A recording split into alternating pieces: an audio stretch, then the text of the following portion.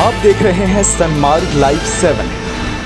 आस्था श्रद्धा का बड़ा और पवित्र केंद्र है। पटना साहिब में सिखों के बड़े संत बाबा कश्मीर सिंह भूरी वाले से खास बातचीत की हमारी सहयोगी खुशी खत्री ने। जी हाँ आज जो है तीन प्रकाश उत्सव है और आज इस दिन पे बात करने के लिए हमारे साथ है संत कश्मीरी भूरे वाला और साथ ही सिखों के पाँच तख्त होते हैं उसमें एक तख्त जो पटना साहिब भी है।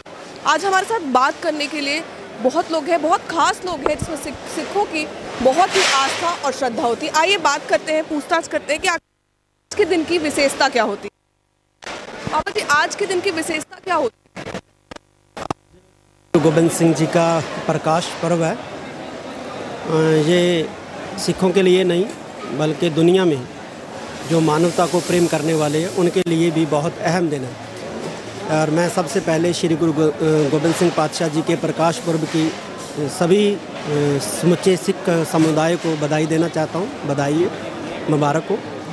श्री गुरु गोविंद सिंह पातशाह की बहुत महान देन है, समुची मानव जाति।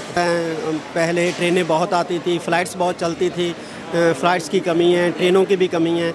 और एक बड़ा कारण है कि पंजाब और हरियाणा में जो बहुत सारी सिख संगत है, वो एक किसान आंदोलन में भी जो अ, व्यस्त है उसकी वजह से भी यहाँ संगत कम आई है तो ये दो तीन कारण हैं अ, सबसे बड़ा कारण जो है वो कोरोना का ही है ਗੁਰੂ ਗੋਬਿੰਦ ਸਿੰਘ ਜੀ ਮਹਾਰਾਜ ਦਾ ਪਾਵਨ ਪ੍ਰਕਾਸ਼ ਪੁਰਬ ਮਹਾਰਾਜ ਦੇ ਪਵਿੱਤਰ ਸਥਾਨ ਤਖਤ ਸ੍ਰੀ ਹਰਮੰਦਰ ਜੀ ਪਟਨਾ ਸਾਹਿਬ ਵਿਖੇ ਸੰਗਤਾਂ ਪਿਆਰ ਦੇ ਨਾਲ ਮਨਾ ਰਹੀਆਂ ਨੇ ਗੁਰੂ ਮਹਾਰਾਜ ਦਾ ਹੀ ਸੰਦੇਸ਼ ਤੇ ਆਦੇਸ਼ ਸੀ ਮਾਨਸ ਕੀ ਜਾਤ ਸਭ ਏਕੇ ਪਹਿਚਾਨਵੋ ਬਹੁਤ ਬਹੁਤ ਵਧਾਈ ਦਿੰਦਾ ਵਾਹਿਗੁਰੂ ਜੀ ਕਾ ਖਾਲਸਾ ਵਾਹਿਗੁਰੂ ਜੀ ਕੀ ਫਤਿਹ। आज उन्होंने बताया है कि तीन प्रकाश उत्सव जो है वो क्यों मनाते हैं आखिर क्या इसकी विशेषता है कैमरा पर्सन प्रभात के साथ खुशी खत्री लाइव सेवन पटना